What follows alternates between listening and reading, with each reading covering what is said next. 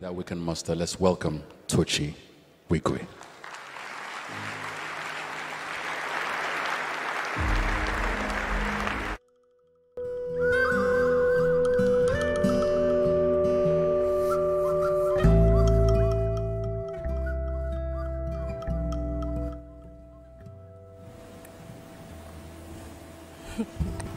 Good morning. Good evening. Jesus.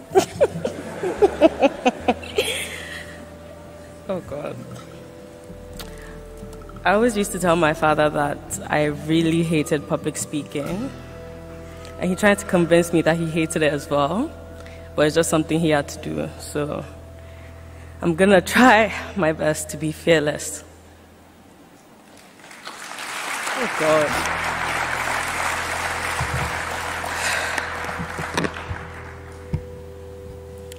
In this moment, for the first time, your words resonate deeply within me. No longer do I want to tilt my head and squint my eyes in confusion. You are simply extraordinary. Amidst my tears, I reflect on the man that you were driven, determined, and always surpassing expectations. That was your ethos. You urged me to reach new heights I never even imagined. Whenever doubt clouded my mind, you would chuckle, knowingly and say, You really just don't know whose child you are. You will soon find out. and once again, you were right. I've come to find out.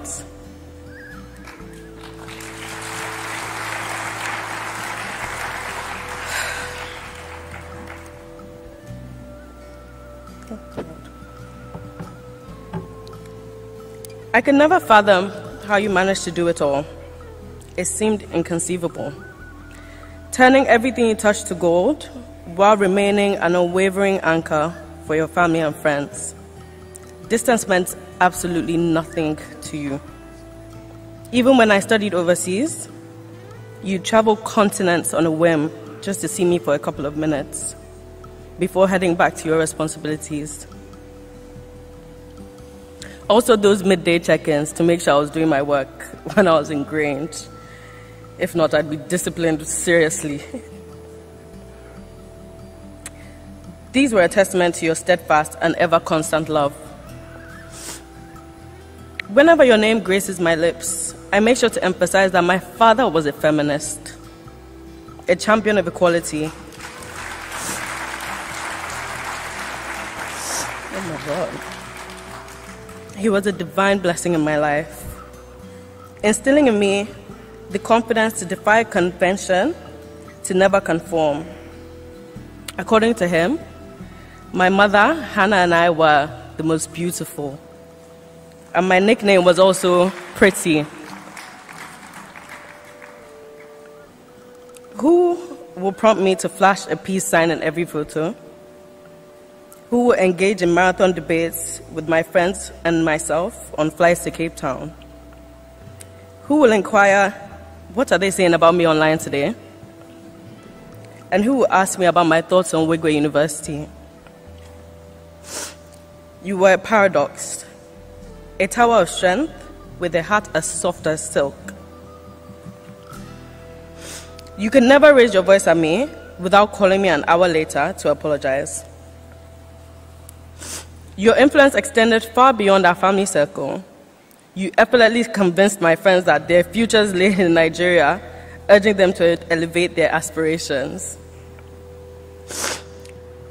You've left me with enormous shoes to fill, but you've also gifted me with an unwavering support system.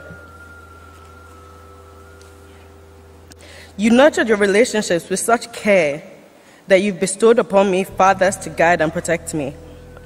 For that, I'm eternally grateful.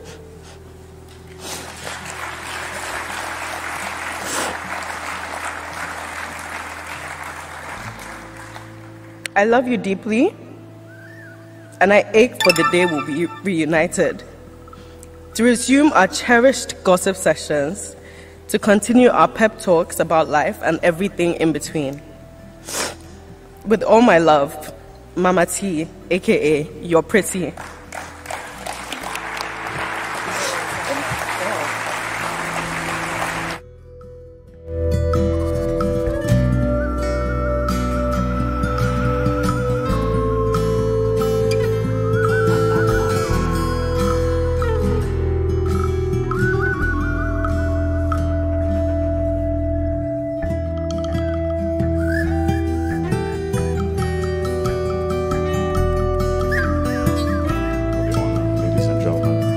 Said, Tochi. Very well put.